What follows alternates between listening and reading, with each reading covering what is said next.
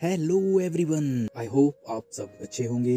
Virtual at the rate foodie number one में आप सबका स्वागत है। तो जैसा कि आप देख सकते हैं, जी हाँ हम बनाने जा रहे हैं कढ़ाई चिकन जो बनता है बहुत ही ज़्यादा टेस्टी और बहुत ही इजी टू कुक रेसिपी है। चलिए शुरू करते हैं। सबसे पहले हमें चाहिए होगा चिकन हमने साढ़े सात सौ ग्राम चिकन ले लिया है। तो ये रहा लेग पीस लेग पीस का ये जो होता है, ये टेंडन होता है, इसको काट लेना है। इसको कट नहीं करेंगे तो हमारा जो चिकन है वो जूसी नहीं बनता है। टेंडन मीट को टाइट कर देता है। तो फिर डाल देंगे हम इसमें हल्दी, गरम मसाला, जीरा पाउडर, काली मिर्च पाउडर, दालचीनी पाउडर और रेड चिल्ली पाउडर ये सब मैंने एक एक छोटा चम्मच जो है वो डाल लिया नमक डाल लेंगे फिर एक टेबल स्पून हमने डाल लिया नींबू का रस। मसालों को अच्छे से ऐड करने के बाद हम इसको आधे घंटे के लिए फ्रिज में रख देंगे मैरिनेट होने के लिए।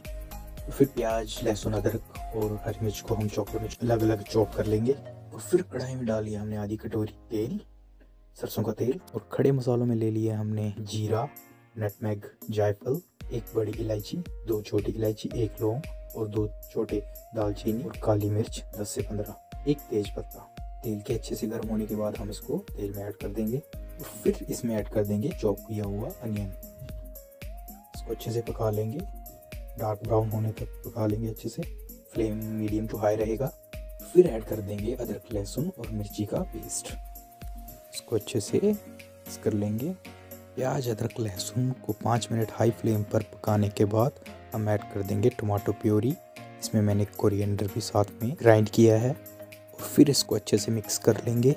टमाटर ऐड करने के बाद हम ऐड कर देंगे इसमें एक टेबल स्पून नमक। टमाटर को पाँच मिनट मीडियम फ्लेम पे पकाने के बाद हम ऐड कर देंगे हल्दी एक टेबल स्पून फिर इसको अच्छे से पका लेंगे। मुझे मेरा मसाला जो है वो थोड़ा ड्राई लग रहा था, इसलिए मैं थोड़ा सा पानी ऐड कर रहा हूँ। टमाटर को पाँच मिनट पकाने के बाद हम इसमें ऐड कर देंगे बाकी के मसाले। अब वीडियो को पॉज करके इन मसालों को देख लीजिएगा स्क्रीनशॉट ले लीजिएगा। मसालों को अच्छे से मिक्स कर लेंगे।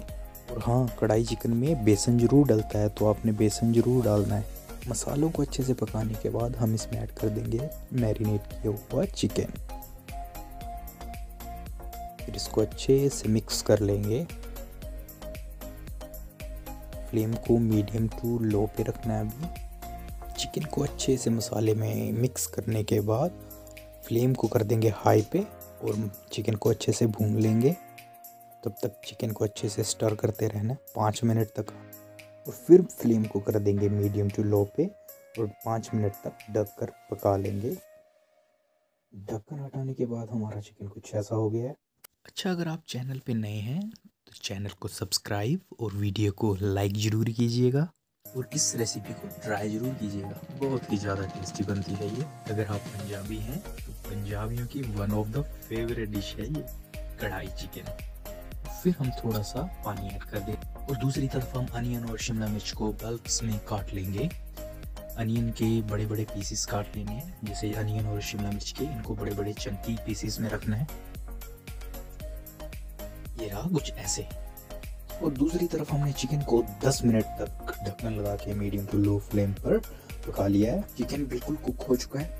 और फिर इस हम इसमें ऐड कर देंगे शिमला मिर्च और प्याज के बल्ब्स और अदरक के लच्छे, यानी जूलियंस फिर पाँच मिनट ढक कर पकाने के बाद हमारा चिकन कुछ ऐसा हो गया आप देख सकते हैं, कढ़ाई चिकन हमारा बिल्कुल बन के रेडी हो चुका है। और एंड में ऐड कर देंगे रोस्ट किए हुए कसूरी मेथी और गरम मसाला चॉप किया हुआ धनिया, और फिर कर लेंगे सर्व आप टेक्सचर देखिए, चिकन का। क्या बढ़िया चिकन बन के तैयार हुआ है। एक कढ़ाई चिकन बहुत ही ज़्यादा टेस्टी बनता है और बहुत ही इजी टू कुक रेसिपी है। आप एक बार वीडियो देख के इसको बड़े आराम से बना सकते हैं। तो इस रेसिपी को ट्राई ज़रूर करना। अभी देखिए आप क्या बढ़िया चिकन, देखो कितना सॉफ्ट है। बहुत ही जूसी बना ये चिकन। आप देखिए थैंक यू फॉर वॉचिंग आपका दिन शुभ रहे।